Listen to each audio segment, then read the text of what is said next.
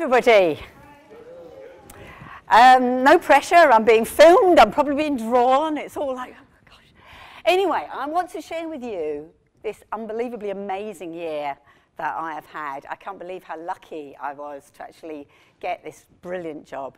So, basically, Professor Sue Heath, who is director of the Morgan Centre for Research into Everyday Lives, which is a bunch of sociologists that work for the University of Manchester, sent me an email about 18 months ago and said, would you like to do, to have a grant to work with us for a year? And what she was interested in is the fact that sociologists, especially the Morgan Centre for Research into Everyday Lives, are interested in looking at the minutiae of what goes on around them. And it occurred to her that there was a lot of overlap between what they were doing and what we as urban sketchers do. After all, that's what it is, isn't it? We put ourselves in a space and we observe the everyday stuff. So she was excited by the idea that we might be able to work together and, and observe in different ways and see in the same situation what we picked up. So we got this grant and Leverhulme Trust do this amazing thing where they take an artist of any kind, it could be a dancer or a poet or a musician, and the only rule for getting the money is that you work with an institution that has nothing to do with the arts. And it's just this wonderful cross-fertilization to see what happens. It's such a simple premise, but it's a really good idea. So we put in this bid and we got the money, yay! So I couldn't quite believe it. And uh, two days a week, um, just up the road at the University of Manchester. They were very flexible, you know, like sort of whenever anything good was going on. And I just hung about, really, drawing a year in the life of the department, but also drawing all their various research projects. Now, I know nothing, well, I knew nothing about sociology this time last year. So it was very exciting. It was that voyage of discovery that kind of got me really sort of up for it. So when we, when we got the money, I said to Sue, Oop, sorry. I said to Sue, so, okay, what do sociologists actually do all day? And she said, well, to be honest, mostly we sit at computers or we sit in meetings and, oh yeah, it's actually not that visual really, is it? but of course, that's because she wasn't an urban sketcher. And I think the whole point of what we do is that what we used to becomes invisible. But what we're not used to, for everybody else's eyes, is really exciting. You know, I come from this neck of the woods, Manchester, yeah, yeah, some interesting buildings, but it looks like home. If you've come from Brazil or China or wherever, it's amazing. It's different, isn't it? So her world to me was very exciting. And one of the things I discovered is that academics have so much clutter in their life. Every surface was covered in stuff, corners of rooms, desks, everything was piled with stuff. And I loved the meetings because sociology was very um, easy to understand for a layman. So I learned all this new stuff. It was really brilliant. And I would go to meetings and try and record everybody and what they said and just get a feeling for the meetings. So the thing that we had in common was this idea of concentrated seeing.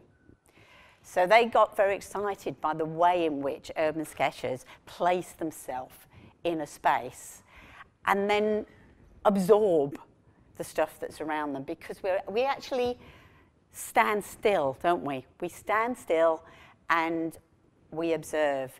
And because we do that, we point up all the invisible stuff that normally you're just rushing past, you're getting on with your day, you're focusing on what you're going to do next. You don't notice the stuff that's there all the time.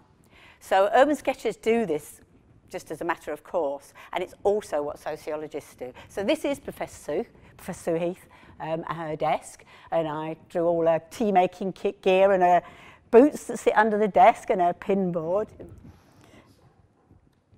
I also did a portrait of her via the contents of her desk drawer.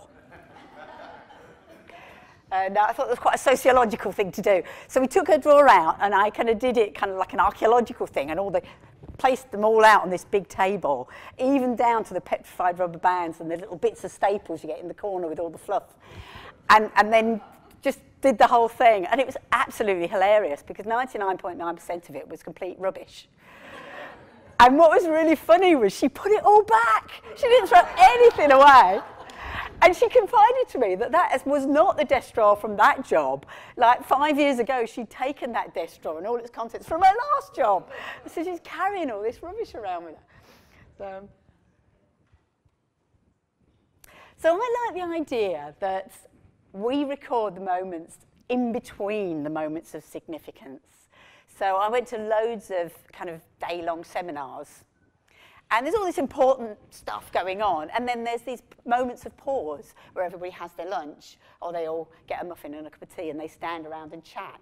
And I think that sort of moment tells you as much about what it's like to be in academia as actually the meetings do themselves. But those moments just get forgotten, don't they? Um, so I, I love the idea that we can do that. We can shine light on these little places that just, yeah, are gone forever. Yeah, this is another good example. So this was um, end of project presentation for Sue Heath. She was just finishing a big project when I started with them. So it was a big deal. They hired the art gallery, academics coming from all over the place, and the tech doesn't work. So there she is, ready, and you couldn't get the computers going. And there's this little huddle of people, you know, the technical issues bit. Um, so that's as important, really, for an outsider as the actual event. And of course, when you're drawing, you notice the, the, little tiny stuff, the insignificant stuff, and that again is what the sociologists were quite interested in, because that's the stuff they're trying to point up. So one of the things that I noticed drawing in loads of lectures is that the students all come with water, very sensible, but all the lecturers always came with coffee. I don't know what it means, but I noticed it. For me in particular, uh, sketching out and about is a multi-sensory experience. I really enjoy the fact that you place yourself in space and then you're just still and you've got all this stuff that's happening around you. And you might be cold or you might be hot or there might be somebody really smelly sat over there, you know, or you listen in to things that are going on. And in particular I listen, I keep my ears open and I put little notes of that kind of thing, I weave it in amongst the, the drawings. And that then really paints a rich picture. So this was at the beginning of the term, sitting on the grass when it was sunny in Manchester with the students, and just listening to their conversations. Now, I went to university in my hometown, and it hadn't really occurred to me that people were, of course, coming to Manchester from all over the world, you know, a lot of them, they'd just arrived, they'd never been abroad before. But when I started to listen in, you know, there's somebody saying, I'm from Islamabad, one of the most beautiful cities in the world. Here, let me show you, desperate to show people on her phone. And somebody else said, I get homesick at the most awkward times, at the grocer's, not in my room. And, and that kind of really starts to paint that picture, doesn't it? And then the lady on the phone, she was obviously local, she was pacing up and down talking to this mate, and she, she said, uh, did you tell him? Oh my God, you slept with your, wow. so I never found out. But.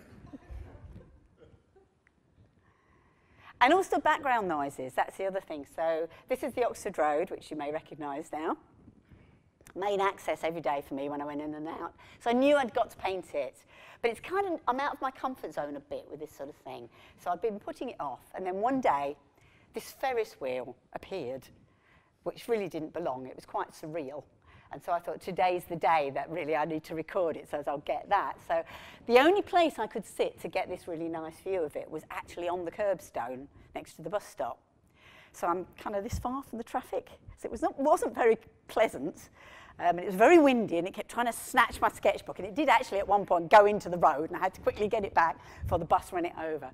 Um, so it was actually very multisensory. So I wrote down the things I could hear in the corner. So chatter rises and falls like bird song, ambulance siren, traffic rumble, hip hop from a car window, bus chunter in my face. And, and that is kind of like a soundtrack to the picture. And it just helps all together to paint something that really puts you in the space and in the moment. So I'm a storyteller. I'm actually an illustrator. I illustrate children's books.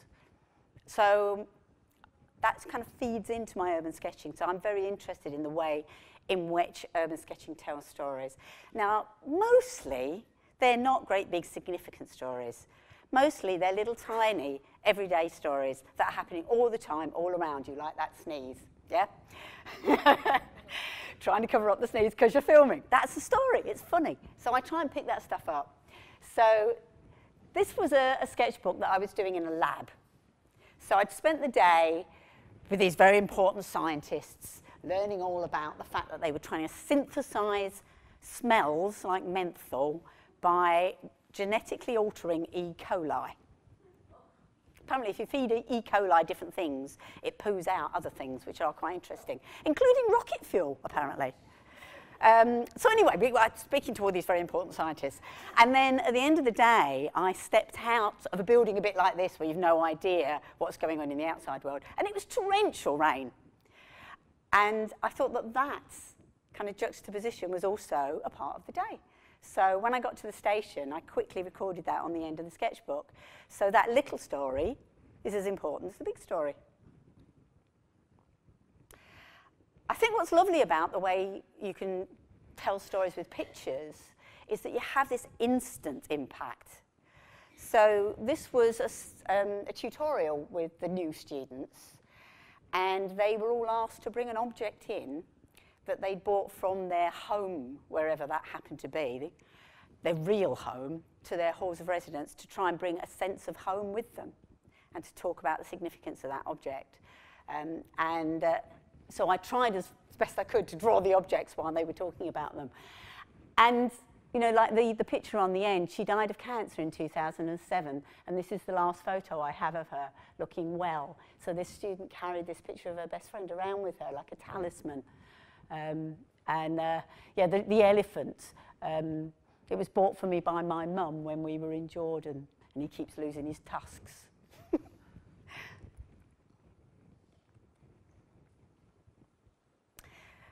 so even inanimate things, really insignificant things, have a story because we interact with them. So I was drawing in the Learning Centre, um, it's just a bunch of students sat at a bunch of computers. And I'm sat on the floor. And I suddenly realized there was all this lovely cool air coming out of a vent, exactly like that one. And so I wrote, it's only when you sit on the carpet that I discover that there's cool air seeping gently into the room from lots of floor vents, which is why it's such a comfortable temperature, despite the presence of 40 computers.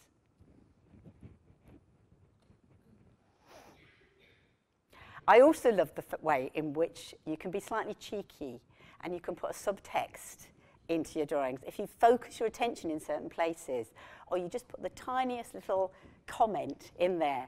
This was another portrait. This is the portrait of the head of departments, um, Wendy Bottero. Typical academic, her office was like just stuffed to the gills, absolutely rammed.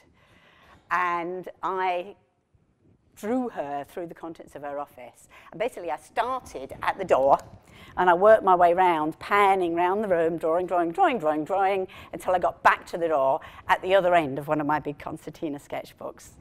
And, and this is the section. I left the bookshelves to the end because they were so scary. I really wasn't quite sure how on earth I was going to tackle them. And I did it in two installments. I did like half a day, and then I came back the following week, and I did another half a day. And I was very annoyed with myself because it had this beautiful package and I got it half finished at the end of the first day. And, and all the way home, I'm cursing myself, thinking I should have just either got it finished or left it out. And now she's going to open it, and I'll have this half-finished blob in the middle of the thing, and it's going to ruin the drawing. And I was very annoyed. Next week, it's in exactly the same place. And it transpired it had been in that place for about a year and a half. So I said to her, uh, what's in the big package? And she said, it's a map of Manchester. I suppose at some point we'll have to put it up. and that kind of said everything you needed to know about Wendy's relationship to objects, really.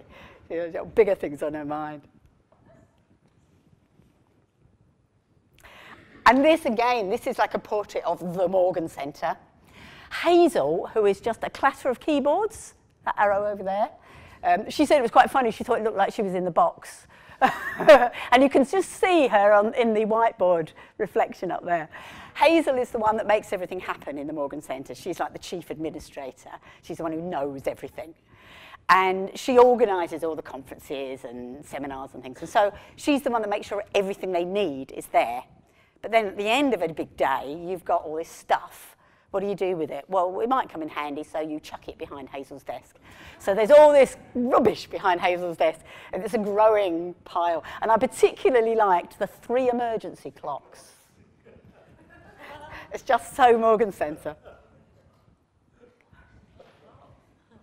And sometimes, actually, it's the artist story that's part of the whole thing because you're there. And one of the things that's lovely is it's, it's slightly theatrical, really.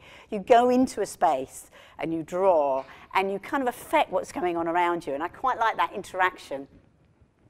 This was um, the lab again. Actually, I think this was the same lab. Um, and I was sort of being shown around the lab and drawing all the different processes. And they showed me these vials of stuff. This is where the E. coli is in these little things with, with this broth that they feed it. And they put them all in this block, and then they put it in something that shakes it up. And I was drawing the block, and he'd shown me the thing, how it looked from underneath. I thought, I want to draw that. Lifted it up, and of course, instantly spilled all E. coli all up my arm. So they kind of took me away and swabbed me off and then gave me these latex gloves to draw in. And I thought it was so funny because I couldn't be trusted. And, and I just love that very personal story embedded in the middle of this very serious sketchbook with mass spectrometers and things in it. And, and that juxtaposition is just really nice. So I worked in these concertinas. Um, and basically, I bought this huge roll of watercolor paper. It's 10 meters by 2 meters. And having bought it, I then realized that I didn't actually have anywhere big enough to roll it out to cut it up. So it was quite a performance and wrestling it because it was quite heavy and it wanted to stay rolled, you know, it's like wrestling an octopus. But eventually, I got all these strips, two meter strips cut and folded them up.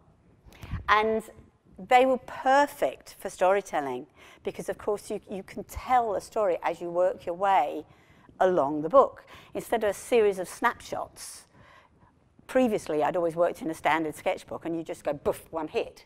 But I just got so excited by this idea that one thing became another, really, and you're, you're just following the story through. So this is me in a different lab where they were researching Alzheimer's. Um, so she's kind of talking me through the process. Trying to understand and trying to remember what she was telling me was quite a challenge. And then drawing it. But the thing with the concertinas is they were so practical because, you know, this, I'm sort of walking down the Oxford Road suddenly, all the daffodils were out, oh, quick, let's draw it, stood up in the street. You need something that is the shape of a sketchbook. So the concertinas are great because you can work on them as a book, or you can fold them out so you've got maybe three sections with a bit of jiggery pokery. Um, but they gained up as something large that's got a bit more impact to them. So they were very practical. So this, they were on strike at some one point. So I thought, oh, good, that's a different story. So I came in and drew them on the picket line.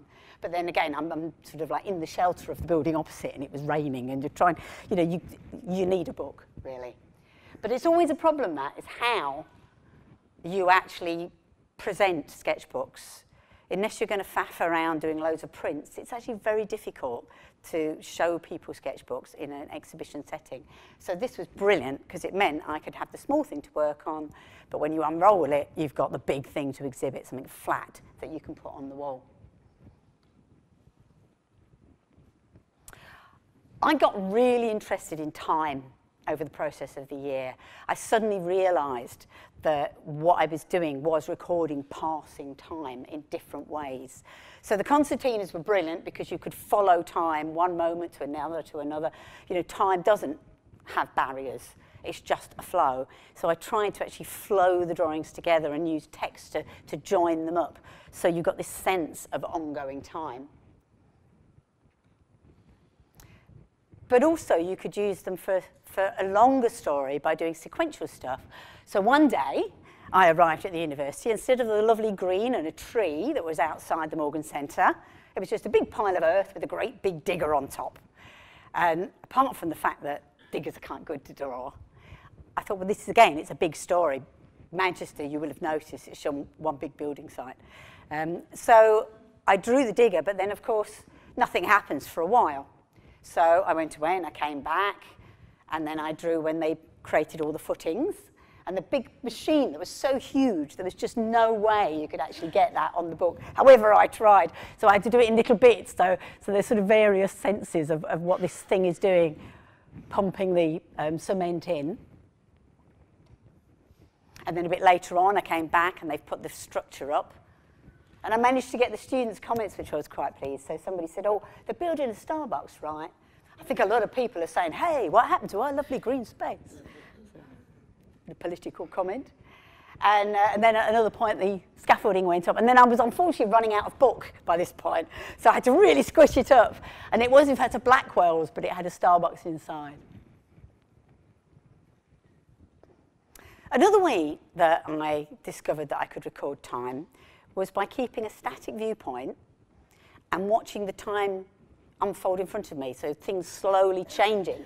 So this was at the end of one of the seminar days, you know, how you, when you sum up and you write all the things you've learned on the whiteboard. And I just love the idea that by, by just keeping on this one person who was up and down and writing in different places, you get this really sense of time and movement. And it's much, I don't know, it, it's more evocative than just a still image would have been.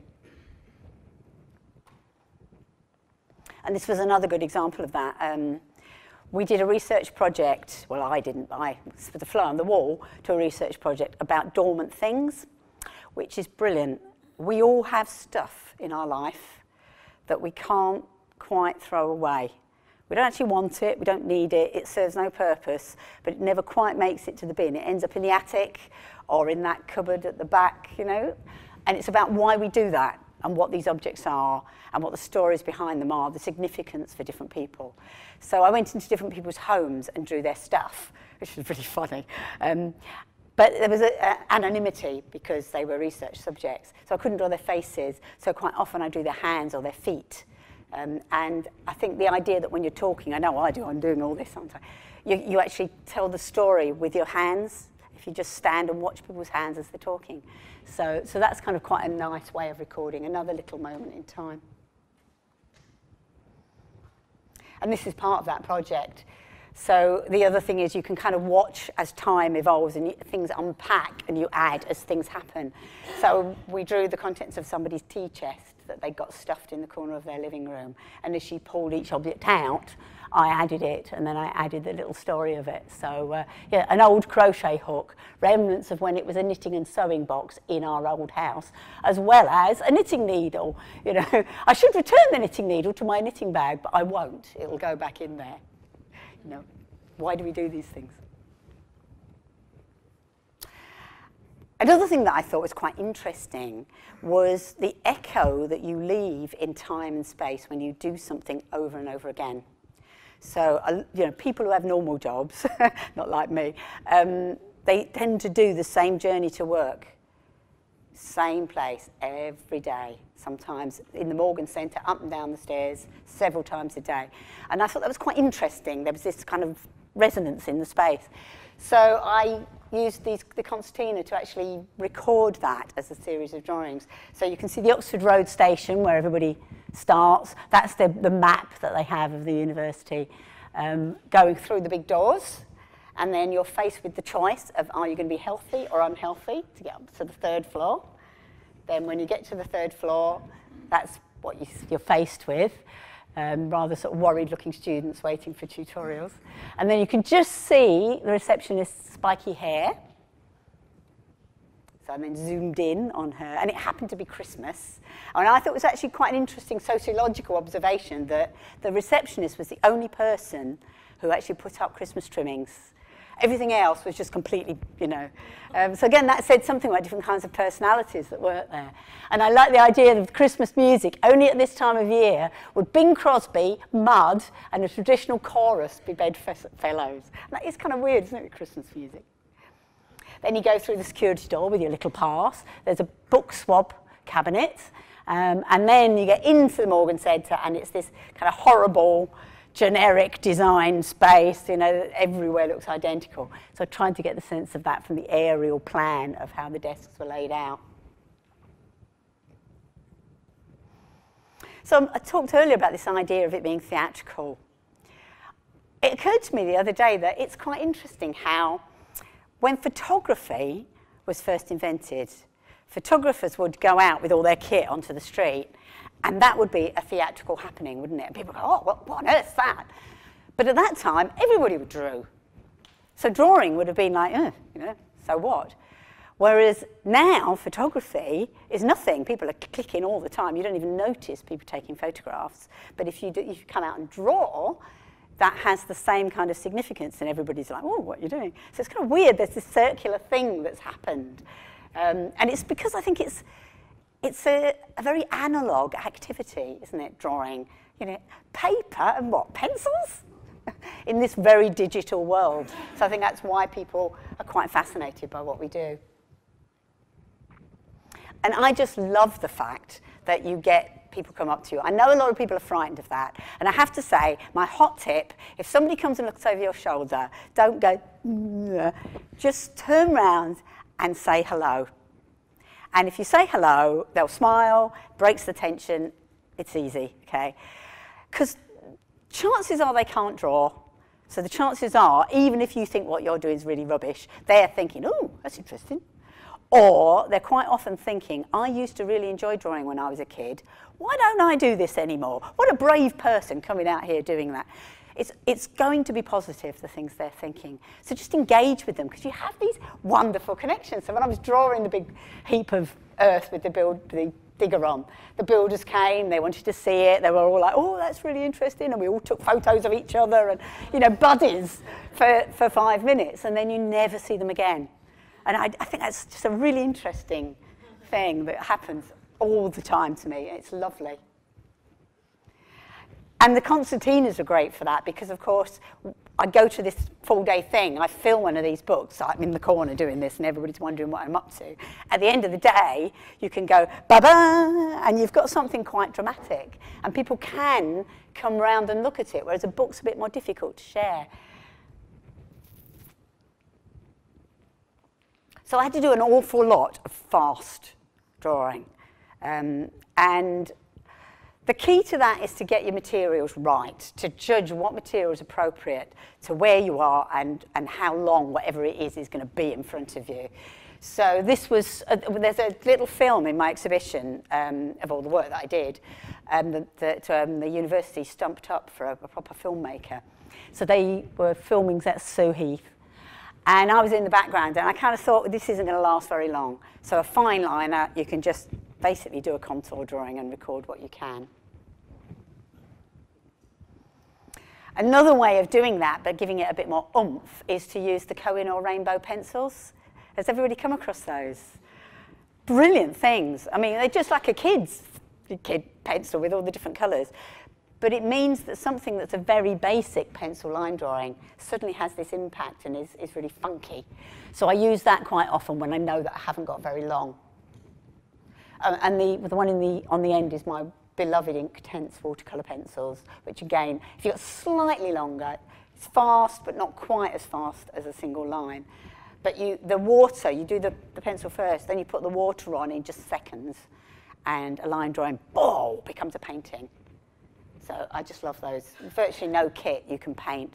So this was an example of using those. We did um, a project um, on the, the, that menthol thing with the E. coli on people's reactions to the idea that they might be buying uh, products in the future that they put in their mouth that have been created from E. coli and talk to people about whether that was an issue. Because there's loads of everyday projects, products that have menthol in. So we went to a garden centre and, and were accosting people, basically. So I didn't have very long to draw them. So particularly family with kids, it's, you know, you've got to be really rapid. So the watercolour pencils are really useful and I usually sort of give myself three or four pencils so that you're not trying to, you, you don't want loads of kit really, do you? You need to be able to hold it in one hand.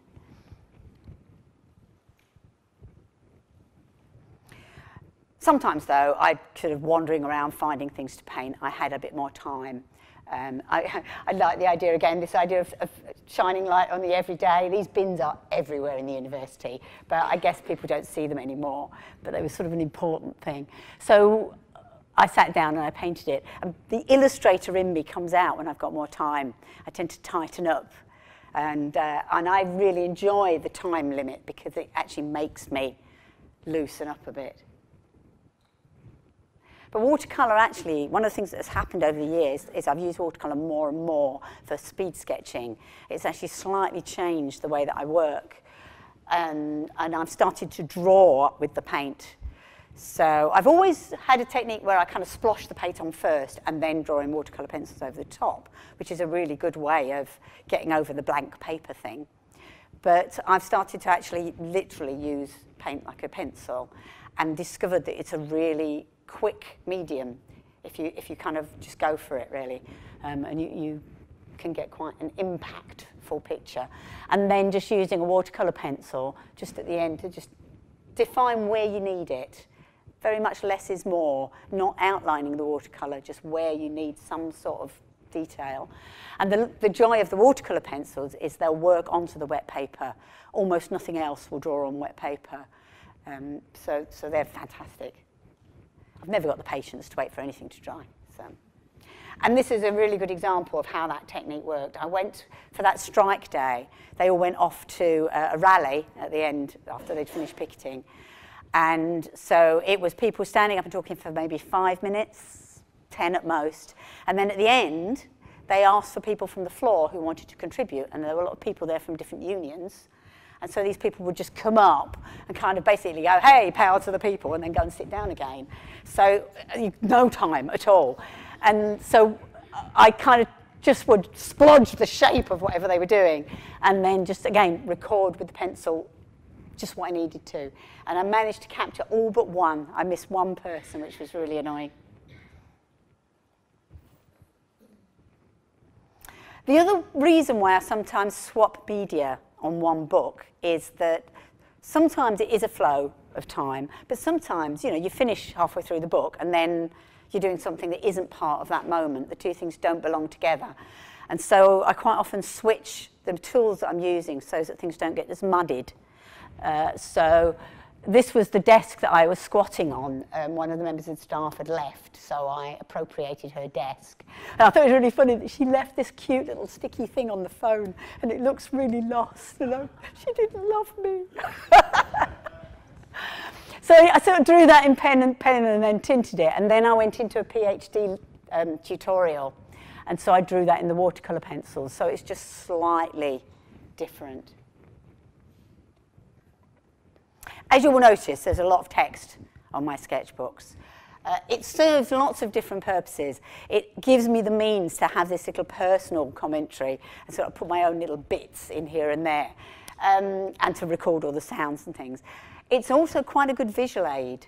So I'm sure you'll all be, you know, have these situations that will have occurred where you draw something, you draw something else, and it's like, mm, there's that really annoying space, or things don't sit very well on the page. So if you add text, you can just use them to rescue the composition. So a lot of my text is doing that. It's like, oh yeah, okay, I'll put nice bold text there and I'll run a line of text between that thing and that thing and join it all together. Um, so it's very useful. And it's also a way of adding that personal thing into spaces that are not very personal. If you're like here, this was the view from the reception um, area outside the Morgan Centre. So it was like here, it got this big full height atrium thing. So you couldn't get people in any real sense in the drawing. And it was looking really dull. So I thought, okay, what I'll do is I'll keep my ears open. And as people were coming in and out of reception behind me, I was just listening to their conversations and just grabbing what they said and putting it up. And it's all just all different things. So, you know, somebody's saying, you know, I'm worrying about this and that. And somebody else is saying, there's cake and pizza and stuff downstairs left over from the third year party. Oh, you just made my day. There's nothing like free pizza. so they weren't necessarily talking about important stuff. And if you're putting text on your drawings, think about how you can use it in different ways. I began to realise, okay, I'm going to be repeating myself visually a lot. So I started to use different ways of, of drawing text.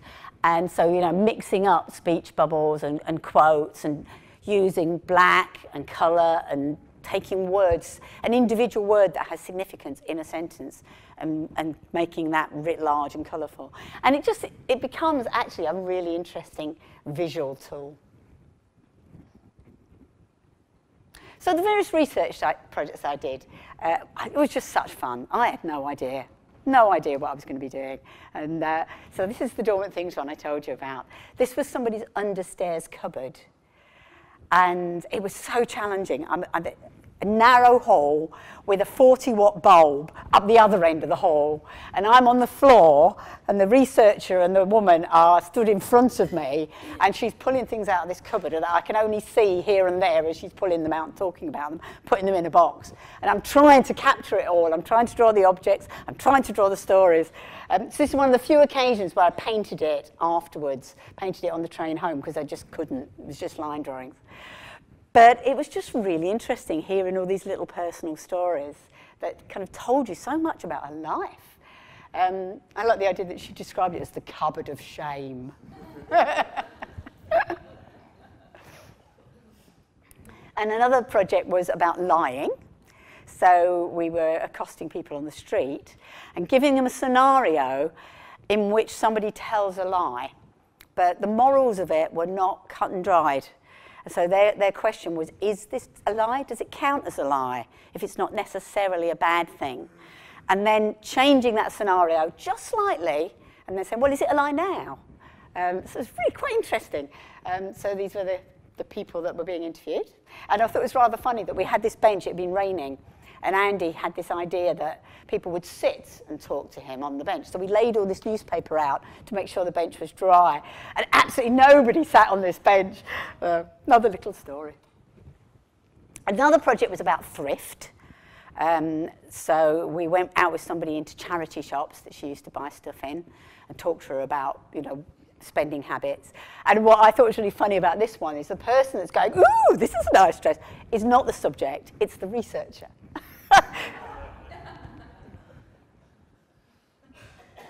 and this was another one which was about um, the weather in this part of the world.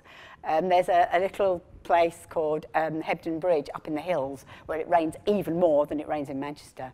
And so she did a project on how the weather influences our lives, you know, what we do, how we feel about the day, about ourselves, and just everything in UK hinges on weather. And so we did two days of drawing. Um, one was on a bad day and one was on a good day. And this was the sunny day. And so all the different things that happen in the same space. On a sunny day, somebody actually paints his canal boat and all the, the pigeons sunbathe, you know. The buskers come out.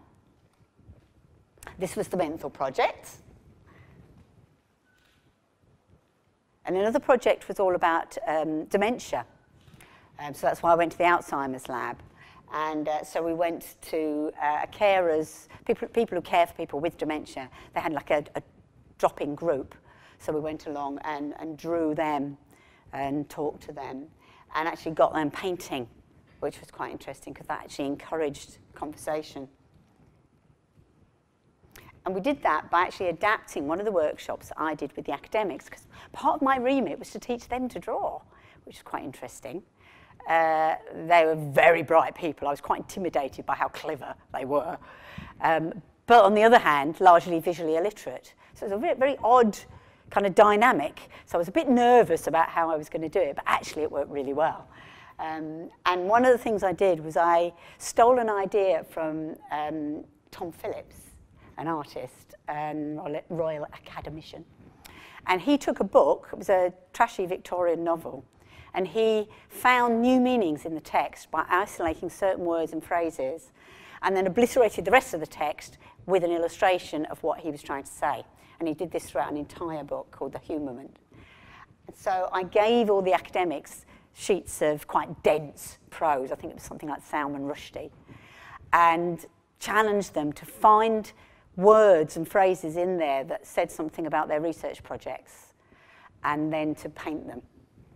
And they really rose to the challenge. They were really, really good. And so this was some of the work that they did. And so Andy Balmer, the researcher who's doing the Alzheimer's, he was my star pupil. He, he just really got into drawing. And so he thought it would be really fun to try this with his carers group. And so we gave them the transcripts of their interviews that they'd had with him on a previous occasion and then said, okay, let's see if we can point out certain poignant things or find new meanings in what you said and what you feel and then paint those. And it worked really well. And this, this, this woman actually, she took all the words beginning with F and put a ring round them because the person she cared for had what's quite common with dementia, you swear all the time. And then she painted a little rainbow in the corner. She said, that's me, I'm trying to be positive in the face of everything else, you know. Somebody else painted it all the colour of bruises. So there's a lot of things came out. But because they were working on something that was a very focused subject, they talked a lot, but they talked about the subject. They didn't end up talking about the movies or biscuits or anything. You know. So it worked extremely well as a device. And they got really excited, the researchers, about how the drawing actually brought their projects to life. Because it suddenly, instead of just words on a page in some academic paper, these people suddenly became real people. This is somebody who collected every ticket that they'd ever had for anything they'd ever been to. and uh, so I, I like that. I, I went through them and I thought, oh, I've partied a lot.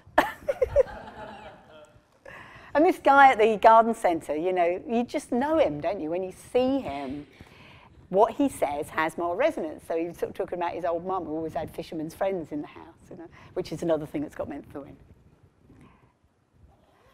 And the other thing that was really interesting was how much poignancy you could bring to objects. So they tried using photographs, the researchers, to add to their research, but it doesn't really work. When you take a photograph of an object, it's just really flat and meaningless. But if you draw an object, it really celebrates it. And also you can sort of get rid of all the white noise and basically just focus on what you need to focus on. And this was the lady with the understairs cupboard. This was a paint palette that she'd been basically painting with her kids like you do. And she put it away, not knowing that when she put it away, it was the last time that they were going to do that because their kids were growing up. And so she couldn't bear to wash it, let alone throw it away, because it would be admitting to herself that that had gone forever. So it just sat there and so I painted it and tried to capture as much of the story as I could. And at the end, I showed her all the stuff that I'd painted. And she cried. And I thought, yes.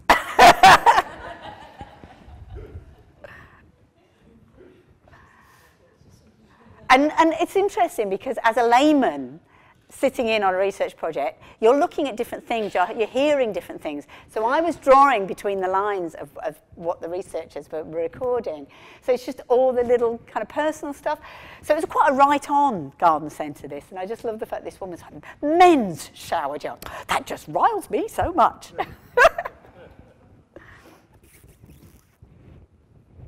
oh yeah, and they had this, this pink toothpaste that had been around since time began. And, uh, and people were sort of looking at it and going, oh my God, you know, imagine you're brushing your teeth with that. It smells of clay and ugh, it's pink and it smells like Germolene. Why on earth would you put that in your mouth? Uh, so again, it's, it's, just, it's just more vivid, isn't it? So the workshops I did for the academics were interesting. They, they, these are high achievers. They are not used to failing in public, you know, alongside their colleagues. So I got 12 of them, or Sue Heath got 12 of them, to actually volunteer to keep sketchbooks over the year. Um, and they were all terrified, apparently, before they met me. And, uh, and so really, my challenge really was to try and get rid of a lot of their preconceptions and to make it fun. So I did all these empowerment workshops. I did about four or five different workshops.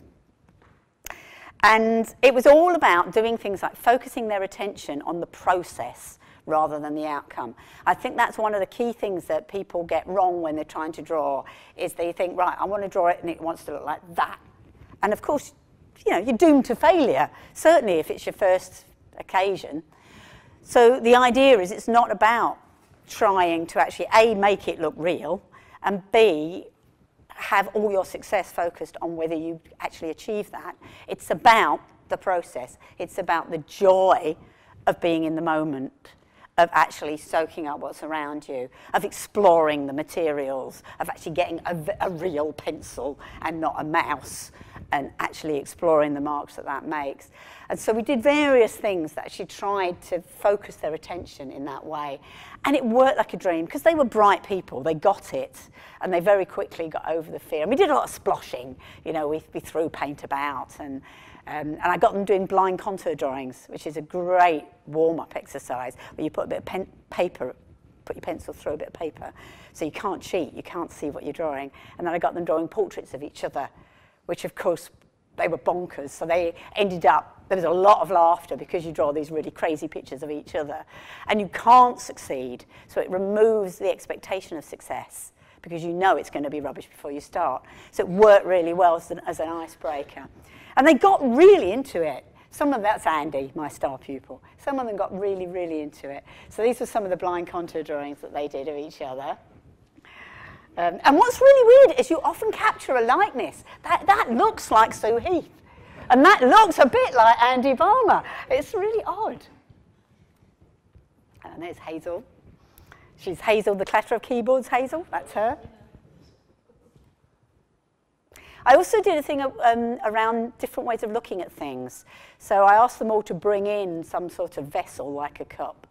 And if you place a cup on the desk and try and draw it, you've got all sorts of difficult problems, haven't you, with ellipses and kind of weird stuff that often people can't do. So I said, well, we don't have to do that, do we? Let's, let's turn it and look at, look at it endways on. And then you get a very different shape, and let's draw that. And then let's look at it at a different way, and let's draw that. And I got them to draw different line drawings of the shapes that you could get looking at a cup, and just overlapping them on the page and creating something that was designing the page. They'd never thought about that concept ever the idea that you were designing a page. And so that was quite fun as well. It was just a bit different. And then I got them to paint the negative space rather than the object because that's easy. You don't have to worry about shading. It can be any colour you like. You can use any medium you like. You can put patterns on it if you want. And then I asked them to think about the object they'd chosen to bring in and, and what it was all about, you know, and then write something in, again, to rescue compositions. So that was a very one-sided composition now it works. Worked really well. They were smashing, actually. They were a really, really nice bunch of people. And so as, as soon as they kind of got this idea that, okay, it was fun, they just went for it. This was the sploshing. And the other thing I tried, which worked very well, was uh, we played a, a painting consequences game I got them into pairs. I wanted them to use watercolour, but again, everybody's frightened of watercolour. If you've never used them before, it's, you know, you need to get used to what you do with them. So I talked about painting on wet paper and dry paper and a little introduction. Then I got them in pairs to just make a mark and pass it, pass it to your partner, and then your partner makes a mark, and then you pass it back. So it's easy. And then at some point, this thing starts to make a picture because our brains do that and then they could start to turn it into something. And, uh, and again, that was fun, and they all learned how to use watercolour by the end of it. Um, so much so that the next workshop, I got them all to bring in, bring in fruit or vegetables, and, I, and Hazel painted that. She'd never drawn in her life. She painted that without drawing first, drawing in watercolour. And I just think that's exquisite. Um, so I, I was just so pleased that how well it worked. And so much so that they started to demand um, workshops on how to draw people. And I was like, okay, that's a little bit tricky for beginners, but okay. And so we got, we roped PhD students into being our life models. So they're to sort of stand around, you know. And I got them to, to focus on shape. Because the thing with people is if you do them in line, if you haven't practiced your hand-eye coordination, it's very hard to judge the, the sizes of people, the bits. Um, but if you look at the shapes and you paint the shapes, it's much, much easier. So that was Andy's painting of that person. Again, superb, isn't it, for somebody who doesn't draw, let alone paint. Um, really good, isn't it? I mean, that was, one, that was the best one, but it's still pretty good. And the other thing we did, poor, poor devils, we not only made them do all these personal sketchbooks, we got some concertina books that we did as just chain projects. So we had half a dozen of them, each with a theme, going round the department, and, and each person had to draw something on the theme and pass it on. And I asked them not to just draw, you know, with the with the folds, draw your bit and then somebody else's bit, but to try and flow them together and you know draw yours into somebody else's space to kind of link them. And, and they were great. Again, I think because they were bright people and they were up for it, they really took it on board and they did lots of the stuff that we'd done in the workshops. And the, the Concertina books are, are on display in the gallery because they were so gorgeous. And I was just so proud of them. I love that, wash that um, baked on thing on the Pyrex. It's just the perfect texture, isn't it? And they just really took it on board, flowing things. Somebody, this was a, the Dormant Things book, um, and this was a Dormant Sewing Kit. And look, she's actually sewn a line through it to join the drawings together. It's really nice. And they, they used all the kind of de design devices that I've been talking about. And they, again, they took them on and used them in the books. And it's, yeah, I was so proud of them. There they are.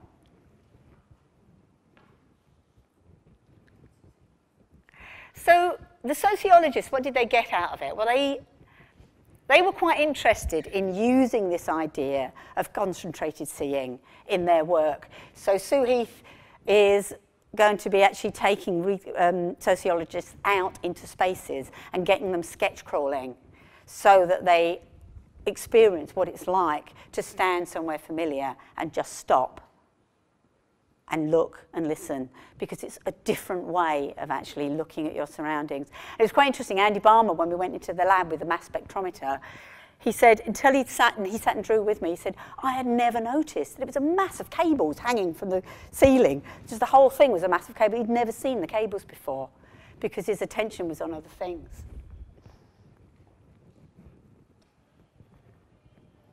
And the other thing was, of course, this idea that you can use drawing as a way of actually recording what you're seeing.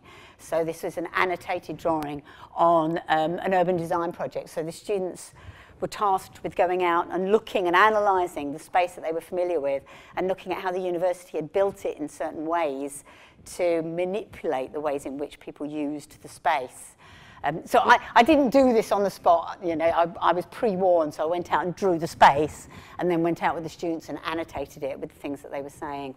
So for instance, an example, there are knobs of steel around the base of that learning centre, which I think always looks a bit scary, um, to stop skateboarders or passers-by sitting on them, you know, so, so they, there's that kind of thing. But by annotating a drawing, again, it has that instant impact thing. So if you're interested in seeing the work that I've been doing, I managed to fill, I think about 42, 45 of these concertina sketchbooks over the course of the year. Um, so I managed to get 27 of them up on the wall in the gallery. So it was nice actually because they, they, they fold up quite small, so they were just on the shelf at home, and they didn't look like much for a whole year. But when I then got them on the wall, suddenly I had this wonderful, like, oh my God, yeah, that's a huge body of work. And I felt really pleased with myself and quite proud of what I'd achieved. So it's just down the road, basically, just 15 minutes in a straight line from, from here. What are the open hours? There's, um, on the postcard that everybody had is um, a, a link to the website where they're putting the opening hours on. It's more or less until six o'clock during the day, but basically because the work is not under glass, and because there's also a table with loads of art materials out, there has to be someone minding the space just in case. So it's, it's basically volunteers that we've coerced into sitting there. So unfortunately, it's not open in the evening, even though it could be just because I couldn't get people to babysit it. So you need to check, but it's more or less open till six every day, um, except this evening when there's going to be a, a reception. So originally it was supposed to be ticketed, but the ticket thing stopped working, so just come, basically. yeah, there's a bar and a cafe. We can hang out until they, you can be let in. Um, I put this up because I've just got a new website. My website has always been about my children's book illustration with a few sketchbooks tucked in.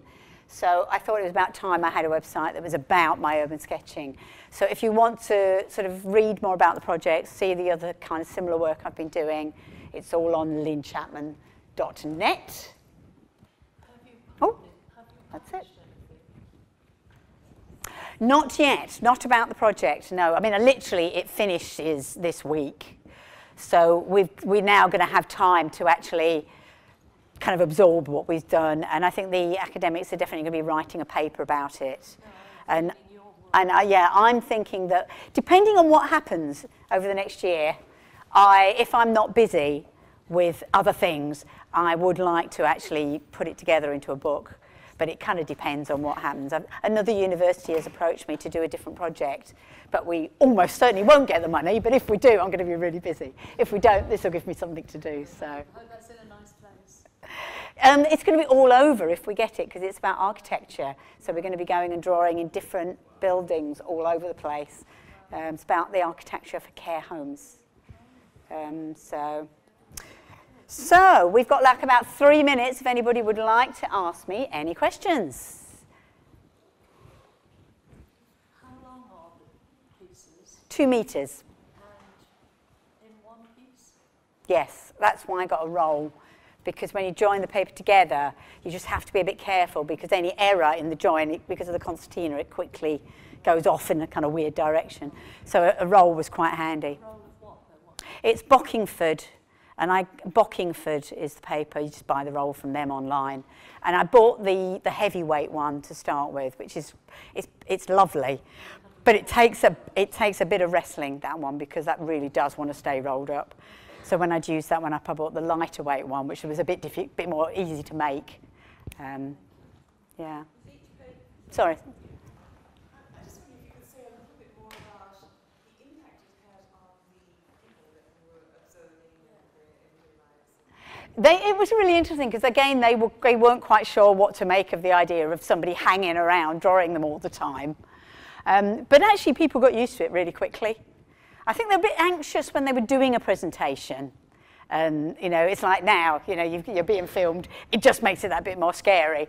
Um, but again, you know, they just, you quickly forget. So it, uh, it worked quite well. And the people that I was working with, um, it was really inspiring for them because they were trying to learn to draw and at the same time they're watching me drawing them and their colleagues and their space. And so they, they, they found that actually a really um, interesting way of learning, watching what I was doing, and they were definitely emulating what I was doing in their sketchbooks. So a bit like what we do here, isn't it? You learn as much from each other as you do from the workshops, just looking at each other's books, talking about what you use. There- is not, there's nothing yet because literally we've just finished, but there will be a paper on it. What I'll do is, is whatever comes along, I'll pop it on my website. And the film that we made is also going to be on the website. I mean, he's, he's literally delivering it to me on Monday. There's a film actually in the space, um, but he's doing a special cut for me that's got slightly more about the art, slightly less about the sociology. Um, so that will be up on the website in a week or so. So, Lynn, you had a question. I'll probably see them later on, but up each page of the constituents, is it A5 or A4? Is it It's not a set size. I made it so that I could make best use of the paper, but it's sort of, it's not quite an A4 height. Oh, I've got one here, hang on, I'll show you, that's quickest. Um, oh, and by the way, thank you to Lucy who designed this fantastic system.